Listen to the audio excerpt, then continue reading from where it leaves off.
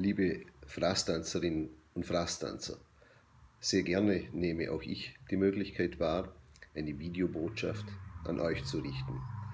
Wer hätte sich noch vor wenigen Wochen vorstellen können, mit welcher Wucht und mit welchen Auswirkungen auch uns das Coronavirus und die damit verbundenen Einschränkungen in unseren Gewohnheiten, in unserem Alltag beeinträchtigen wird. Sind wir es nicht immer gewohnt gewesen und waren wir nicht immer der Meinung, dass so etwas bei uns nicht passiert? Diesmal wurden auch wir eines Besseren belehrt. Und das mit sehr einschneidenden Veränderungen in unserem Tagesablauf. Die Gemeinden wurden sowohl von Bundes- und Landesregierung immer sehr aktuell über die zu treffenden Maßnahmen auf Gemeindeebene informiert. Gemeinsam mit unserem Krisenstab haben wir immer versucht, die sehr massiven Auswirkungen auf unsere Lebensgewohnheiten auch zeitnah umzusetzen.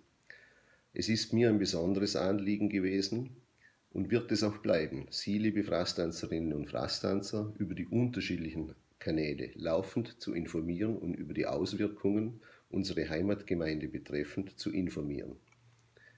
Die Qualität einer Gesellschaft zeigt sich darin, wie sie mit den Schwächsten oder am meisten Gefährdeten umgeht.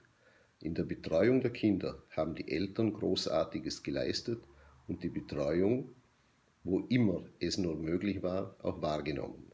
Das Pflegepersonal im Sozialzentrum kümmert sich sehr liebevoll um die Bewohner und es wird von den Angehörigen sehr viel Verständnis für diese herausfordernde Situation, in der keine Besuche möglich sind, entgegengebracht.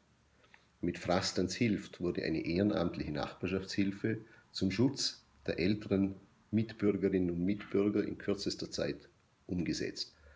Aber auch jeder einzelne Mitbürger handelt sehr solidarisch und verantwortungsbewusst und setzt die verordneten Maßnahmen um. Nur so ist es uns gemeinsam möglich, die rasante Ausbildung zu verhindern und hoffentlich schon bald wieder schrittweise in unseren Alltag zurückzukehren. Ihnen allen gebührt mein großer Dank für das entgegengebrachte Verständnis und das Vertrauen in die richtige Umsetzung dieser Maßnahmen. Was bleibt zurück oder was nehmen wir mit, wenn wir in einiger Zeit auf die aktuellen Vorkommnisse zurückblicken werden? Was hat uns am meisten gefehlt? Welche Entbehrung war besonders schmerzvoll? Oder was haben wir vielleicht auch neu entdecken können? Jeder wird seine eigenen Schlüsse aus dieser für uns alle herausfordernden Situation ziehen und die eine oder andere Gewohnheit das eigene Verhalten vielleicht auch hinterfragen und ändern. Halten wir uns konsequent an die verordneten Maßnahmen, nur dann wird es uns gemeinsam gelingen, die Ausbreitung zu stoppen und langsam wieder zur gewohnten Normalität zurückzukehren. Schützen Sie sich und schützen Sie die anderen und bleiben Sie gesund. Ihr Bürgermeister Walter Gohm.